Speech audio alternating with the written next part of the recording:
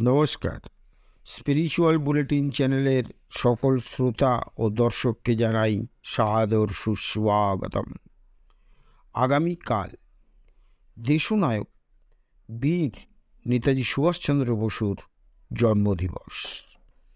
সেই উপলক্ষে আজ আমরা স্বামী বিবেকানন্দ সম্পর্কে নেতাজি ঠিক কী অনুভূতি প্রকাশ করেছিলেন সে বিষয়ে আলোচনা করব।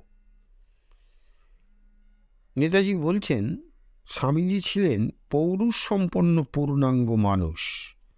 তিনি ছিলেন মনে প্রাণে সংগ্রামী। নিবেদিতার মতো আমিও মনে করি যে, রামকৃষ্ণ ও বিবেকানন্দ একটা অখণ্ড ব্যক্তিত্বের দুটি রূপ। শ্রী শ্রী পরমংশদেবের সহিত একযোগে না দেখিলে স্বামীজিকে যথার্থভাবে বিচার করা যাইবে না। স্বামীজির বাণীর মধ্যে দিয়াই বর্তমানের মুক্তি আন্দোলনের ভিত্তি গঠিত হইয়াছে।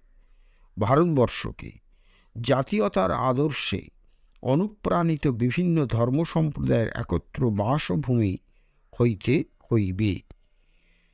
রামকৃষ্ণ বিবেকানন্দের যে বাণী ধর্ম সমন্বয়, তা ভারতবাসীকে সর্বান্তকরণে গ্রহণ করিতে হইবে। স্বামীজি প্রাচ্য ও পাশ্চাত্যের ধর্ম ও বিজ্ঞানের অতীত ও বর্তমানের সমন্বয় করিয়াছিলেন। তাহার শিক্ষায় দেশবাসী অভূতপূর্ব আত্মসম্মান, আত্মবিশ্বাস ও আত্মপ্রতিষ্ঠার বোধ লাভ করিয়াছে। স্বামী বিবেকানন্দই বাংলার ইতিহাসকে নতুন পথে মোড় ঘুরিয়ে দিয়েছিলেন। তিনি ঘোষণা করেছিলেন, মানুষ তৈরি আমার জীবন ব্রত মানুষ তৈরির ব্যাপারে স্বামী বিবেকানন্দ কোনো বিশেষ সম্প্রদায়ে তার মনোযোগ সীমাবদ্ধ রাখেননি। তিনি সমগ্র সমাজকে একসঙ্গে আলিঙ্গন করেছিলেন। বিবেকানন্দ সম্বন্ধে কিছু লিখতে গেলেই আমি আত্মহারা হয়ে যাই।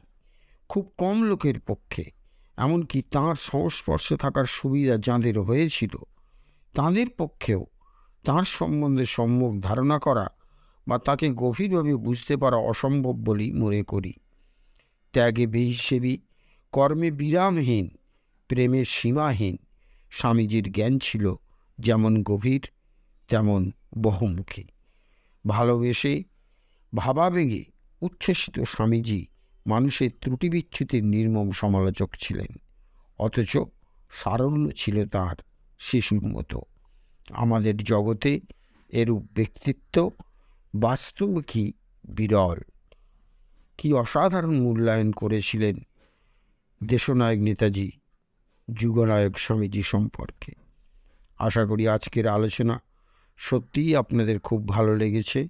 আর ভালো লেগে থাকলে প্রতিদিন যেভাবে লাইক, শেয়ার, কমেন্টস করেন তেমন করবেন। আর যারা এখনও আমাদের এই চ্যানেলটি সাবস্ক্রাইব করেননি বা করে উঠতে পারেননি, তারা অবশ্যই চ্যানেলটি সাবস্ক্রাইব করে আমাদের পাশে থাকবেন। সকলে খুব ভালো থাকুন আনন্দে থাকুন। নমস্কার ধন্যবাদ।